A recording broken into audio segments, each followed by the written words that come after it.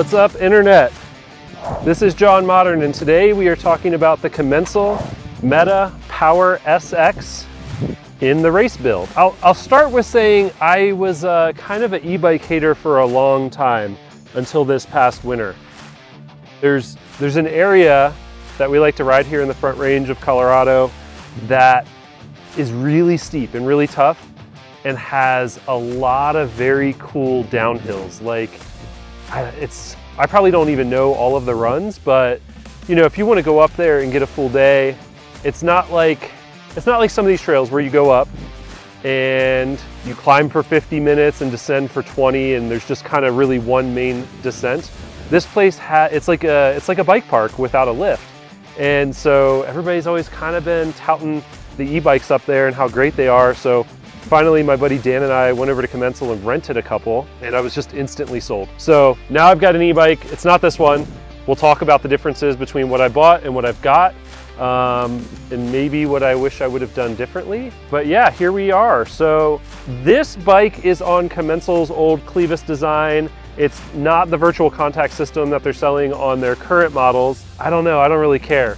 So we'll go over geo, spec, ride impressions, and a comparison to a couple other e-bikes, and uh, kind of conclude our thoughts after that. So this bike, I went with a large, the large is a 485 mil reach at 6'1". I'm right in between large and XL for most brands. Their XL is 5'10". And for these, for this kind of like sizing, the XL is gonna feel a little big and the large is gonna feel a little small. I just kind of pick one and am happy with it and that's just the way it goes. I'll always adjust to the geometry and the sizing with either pick. I, I don't really get hung up on it too much. Except I do, I get hung up on it a ton actually. I don't know why I just said that as a complete lie. I get really hung up on it, but either way, I picked the large for this demo and I'm happy I did. The 485 reach felt a little short, but the bike felt awesome, especially where the terrain I was riding it in. So large 485 reach, in the low setting, uh, the head tube angle is 63.6 degrees. The stack's 643 and the chain stays are 446 mil which I kind of liked. I, uh, I don't know. I don't, I'm kind of past the super short chain stays. You can manual or get the front wheel up on these longer chain stays just fine, and they offer a lot more stability, descending at speed, and I think longer chain stays just climb better. You feel a little bit more in the middle of the bike. So yeah, that's the Geo, pretty sorted geometry-wise. It's got the Bosch uh, Performance, yeah, the Bosch Performance CX motor, which I think is kind of the motor to get right now. I was looking around, just getting into e-bikes, and this motor kind of was just coming out. And from what who everybody I'm talking to, the Shimano's are kind of hard to sell right now, and a lot of them are on discount. But I haven't ridden the Shimano, so I'm not going to make any comparisons. All I can say is I love this Bosch motor. I love any motor. This is I'm kind of new at e-bikes, so I, I think it rules. The kit, hats off to Commencal. The race kits, kind of across the board for them, are just pretty spot on.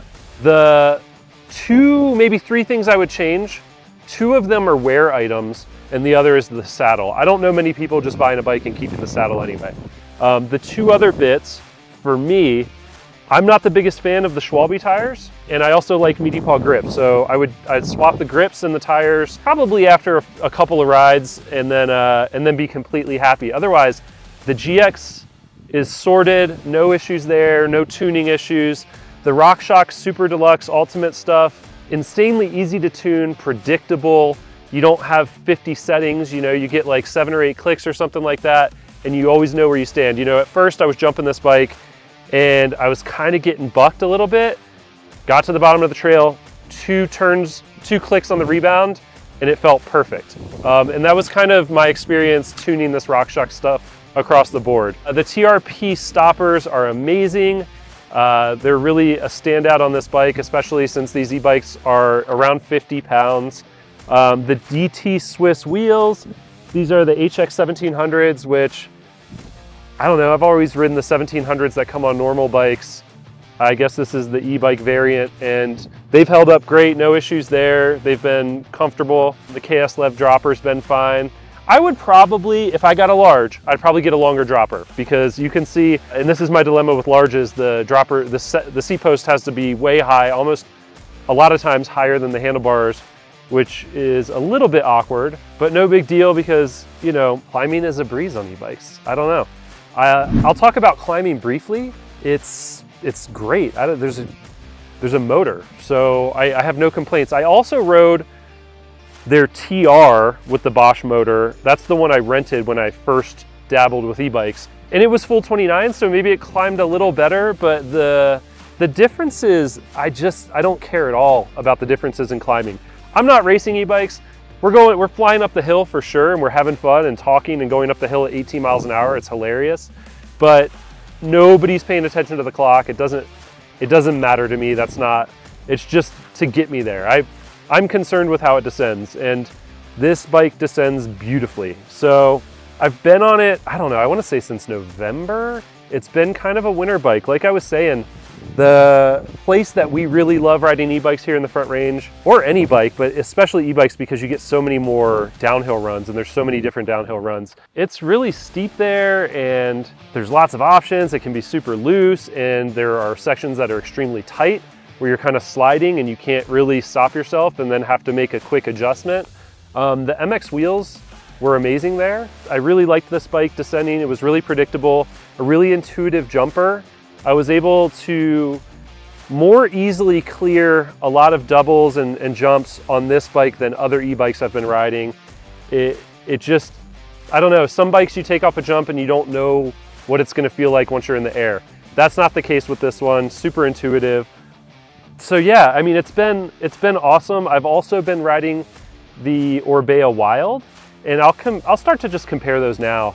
Uh, the Orbea Wild I ordered through my local bike shop because it won all of the awards, it seems like, for best e-bike of 2023, best enduro e-bike. And so I ordered that one and I really wanted to compare the two. The Orbea is a full 29er, but kind of same category. It feels a little bit more planted and sure-footed in the very fast straight line kind of chunk stuff. Uh, whereas this bike, I kind of would find the limits in that type of terrain. And on the Orbea, I felt like the limit was a little bit further out and maybe I haven't found it yet, it is just extremely fast. Where this bike outshines downhill, um, where it outshines the Orbea, is kind of everywhere else. In the jumps, in the turns, it's quicker to turn, it's, it's mixed wheel, they just, they turn phenomenal. And really like all of the, the really tight switchbacks, the loose, kind of slow, technical moves where you're just kind of like controlling your speed and you've got to make little micro adjustments or, or maybe get the rear wheel up and pivot a little bit on the front wheel. This bike just did all of that a lot better and took less input. They still both take quite a bit of input because they're e-bikes and they're super heavy, but that part you get used to. This bike just with the mixed wheel and the geometry, it just seemed to kind of navigate really steep technical terrain better than my Orbea Wild. And both bikes are kind of in that mid 6000s range at the time of this video at least. And so I got the, the Wild M20, which comes with a mix of like Shimano Deore, and I think they throw an XT derailleur on there. Comes with Fox Performance, not Performance Elite. It's kind of the three position, you know, and this bike comes with kind of the, the top of the top end RockShox. So they're not apples to apples spec wise.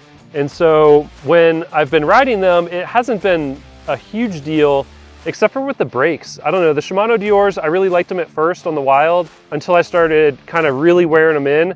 Then that floating kind of bite point that Shimano's are famous for came more and more into play where these TRPs are super predictable. The modulation is always the same. The bite point's always the same. Even though it's not adjustable, it's consistent. And with the Shimano's, I'd find myself, sometimes the bite point would be really far out and I'd get arm pump because I'd be in a really steep section where you can't really get off the brakes. So kit wise, this bike blows the Orbea Wild dollar for dollar out of the water.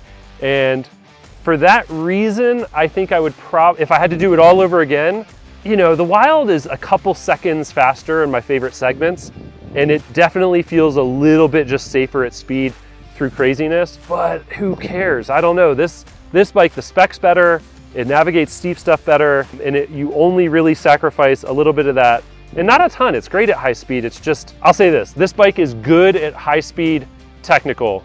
The Wild is just great at it. It feels a little more like a race bike. And I think that's what I'm trying to say is I'm not racing either of these bikes. This is for fun. This is candy. It kind of unlocks certain trail systems. I've, I've been telling all my friends who are like, oh, you got an e-bike, you know, and slowly they're getting e-bikes, by the way. But the way I kind of have, have always sold it is it, it kind of turns some of these trail systems into an amusement park without lines, right? Whereas maybe we would have gone to that certain trail system and done three laps and been kind of gassed after 24, 2,600 feet of climbing. On this, you can do 3,500 feet of climbing in half the time and still have energy to go home to the family or whatever.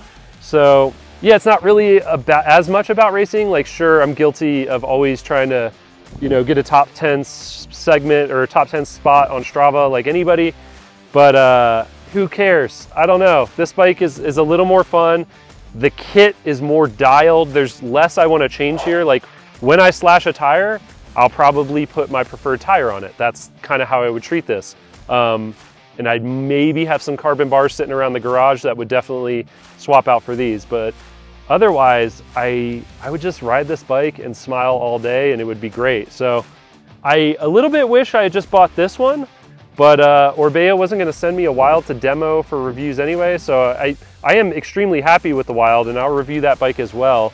But uh, a little bit of regret not buying this one.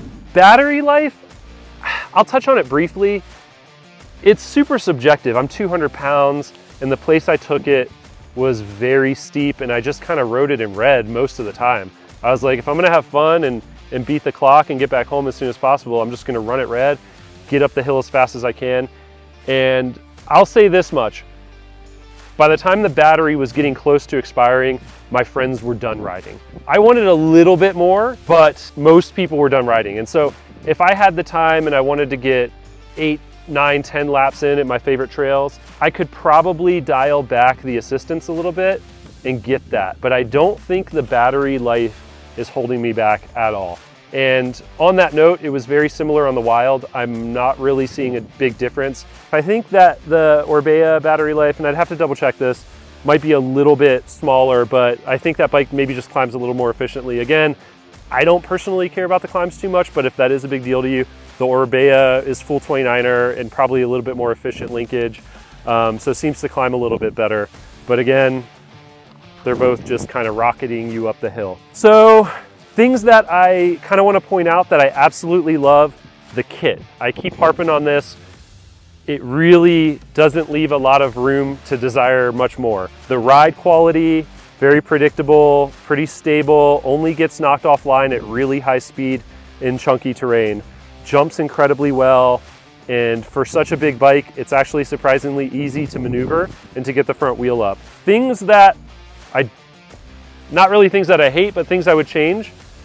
The, the tires, if you like this Schwalbe kind of Magic Mary and Big Betty combo, great, leave it. You don't need to change the thing. Personally, I didn't find them to be the most predictable or stable in, in kind of tough situations. Uh, they would kind of slide out for me at, at moments I didn't want them to. The battery cover, you're gonna wanna check that. This one actually flew off on me twice without warning. So, you know, there's three or four screws there that you just wanna kind of make sure that you're, you're checking here and there because when it flies off and you lose a screw, if you don't have a strap, you're kind of screwed and you don't really wanna fill that port up with mud. So what I did was I had a frame strap that carried like tools and stuff up here. I just put the tools in my bag and used it to hold the battery cover. Not a big deal, um, just a couple of little screws that you need to keep your eye on, just like any new bike. You know, things come loose, check your pivot there, you know, your pivot bolts and everything like that. Otherwise, man, it's gonna kind of suck to give this one back. I've also had a couple friends riding it, everyone loves it. So that's it. If you have any specific questions or want me to address anything, you know, more acutely, drop a note in the comments, but it's, it's tough, right? You can't go to your local bike shop and demo this bike. It's direct to consumer. So that's kind of why I like to review bikes like Commencal because they don't show up. I didn't see them in any of the big e-bike shootouts. And they should have been there because in my opinion, I'm riding the one, the king of these reviews, the Orbea Wild, and there's a lot I like about this bike more than I like about my Orbea Wild.